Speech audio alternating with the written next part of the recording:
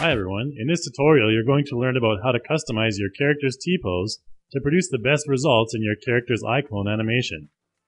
This same procedure can be used universally with any animation program out there, but for this example I'm using Daz Studio. I'm going to start with the default pose here first. In 3DXchange you can switch your view to orthogonal, which is better for determining exact angles. The hotkey for orthogonal view is Ctrl Q, now you can easily switch to any absolute angle views such as top, front, and side views using the home row as hotkeys. Now you can easily switch to front, right, left, and top viewports.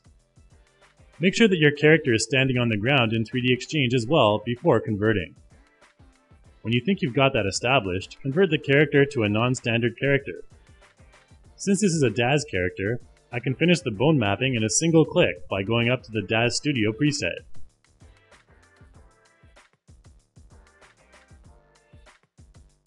Now you'll want to make sure your T-pose is correct before you click the active box. I'll switch to a side view here and make sure that my character's side posture is upright and correct. It seems okay, so I'll go back to the front camera view. I actually want the legs to be a little bit closer together, but only slightly. To accomplish this, I first want to go into Preferences and make sure that I have my angle snap set on. This will allow me to measure the exact angle adjustment for both legs.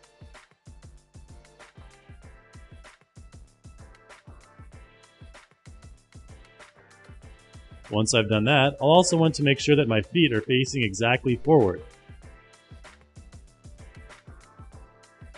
So I'll use the same procedure that I did on the legs, and rotate the feet more towards the middle.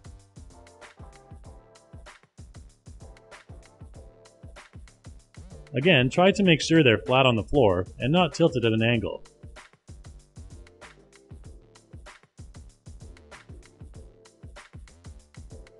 Okay, so now I'm back at the top camera view, and you'll see that the default Daz pose curves the arms a little bit.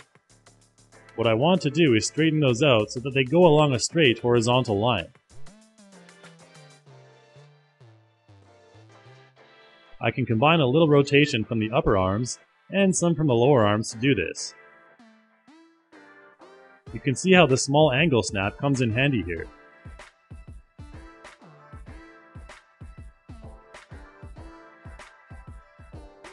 After my initial adjustments, I'm going to click the active box and preview my walking motion.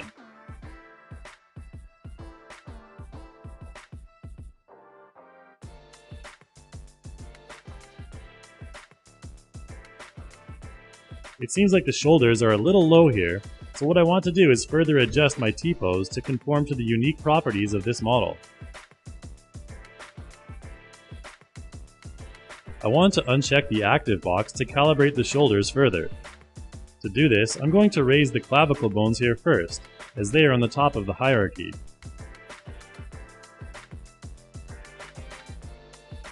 You can see with my character's right arm that if I only raise the upper arm, the mesh on the shoulder will not raise at all, which is not really what I want.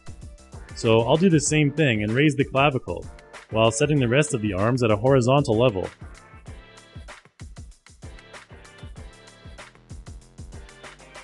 You can see when I select active again in preview, the results look a lot better.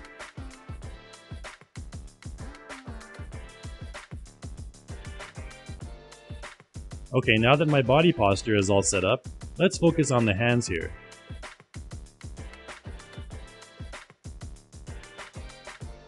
For ideal results, the hands should be flat, with the palms facing the ground, and a 45 degree angle separating the fingers from the thumb, just like in the illustration here.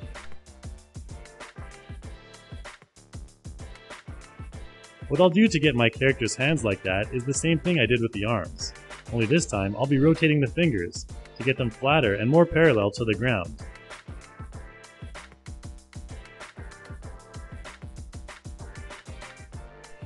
Here, you can see I'm adjusting the thumb to a 45 degree angle away from the fingers.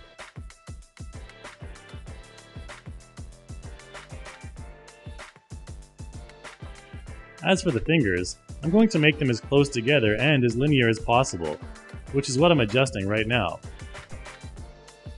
The finger rotation can be a little picky, but just remember to try to get them as parallel as possible to the ground, as well as pointing in the same direction.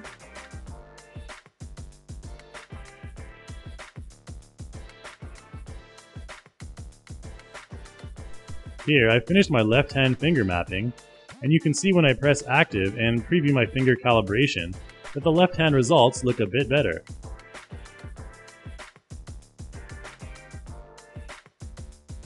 Can see the index finger on the right goes in front of the thumb, instead of being tucked in with the others.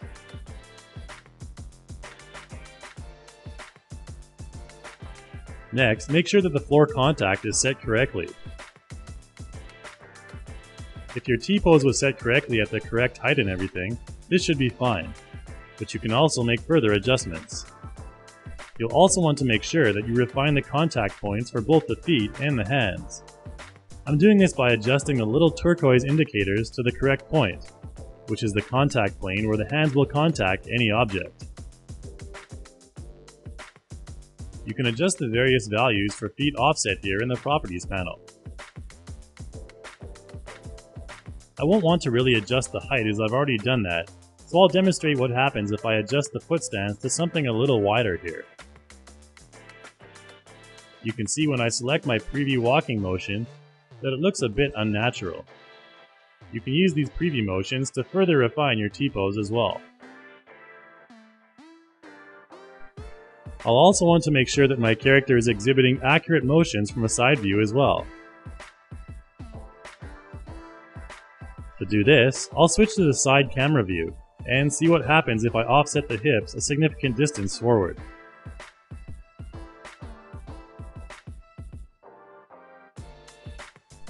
You can see the walk looks a bit unnatural, similar to if I tilt the hips to a positive 60 degree angle.